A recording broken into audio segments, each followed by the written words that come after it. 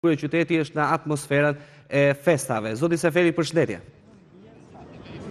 Përshëndetje, përshëndetje dhe faleminderit për intervistën. Faleminderit.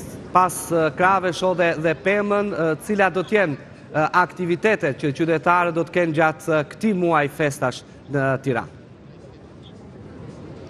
Po, e vërtet, juve shikoni pemën e cila dritat e pemës dhe të gjithë qytetit u ndezën mbrëmjen e djeshme, ku krahas ndezjes dritave u shoqërua edhe me koncert, u shoqërua edhe me shumë aktivitete.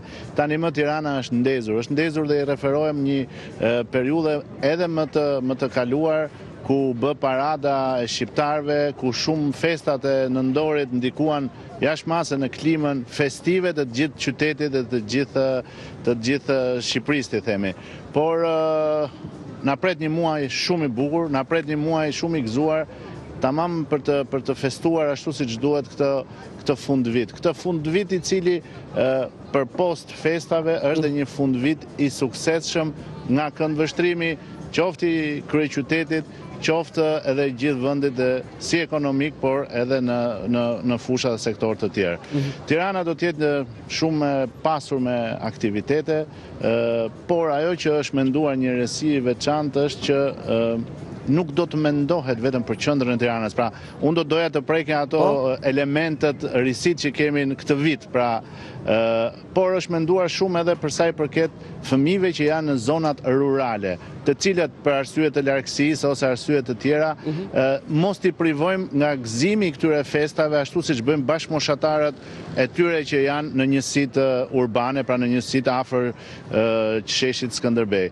Dhe për këtë arsye, çdo ditë do të jetë në dispozicion të tyre, t'i themi një treg festiv, ku një automjet i animuar do të kalojë në çdo njësi duke krijuar festa, duke bërë aktivitete festive me fëmijët, duke shpërndarë dhurata, pra duke çuar gjallërinë e festës ashtu siç është dhe në sheshin Skënderbej.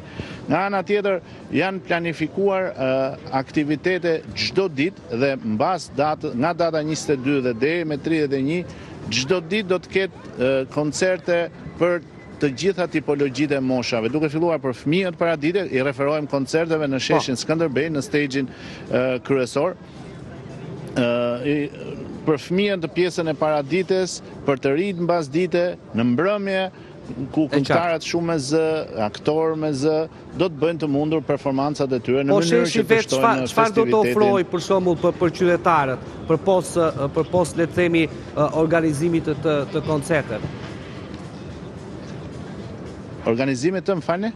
Për pos organizimit të, të koncerteve sheshi vetë, do të ketë gjëra bio siç kemi parë dhe herë tjera? Tani kuptova.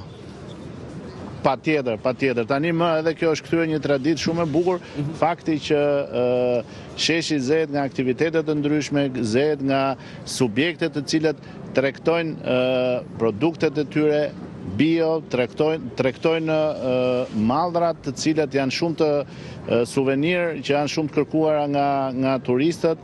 Pra, e gjithë infrastruktura rreth sheshit është në funksion të kësaj feste, duke i shtuar pastaj pjesën e e stejxheve. Por ajo që unë dua të them është që krahas aktiviteteve të ndryshme festive absolutisht siç ju e dini tanimë Tirana është kryeqyteti i sportit, do të vazhdojnë edhe aktivitetet sportive deri në mbyllje të këtij viti. Aktivitete të cilat janë edhe në rrafshin europian, do thoja, por edhe në rrafshin kombëtar ku klube të ndryshme do do jenë drejt përfundimit të aktiviteteve tyre sportive për këtë vit. Pra, Është konceptuar një qytet për mos t'u fikur njëzet e katër orë do thoja. Mirë, zoti Seferi unë të falenderoj dhe do t'i shijojmë pa dyshim së bashku dhe qytetarët festat e këtij muaji edhe me pemën në sheshin Skënderbej. Faleminderit. Faleminderit juve. Faleminderit. Ishim me nënkryetarin e Bashkisë së Tiranës.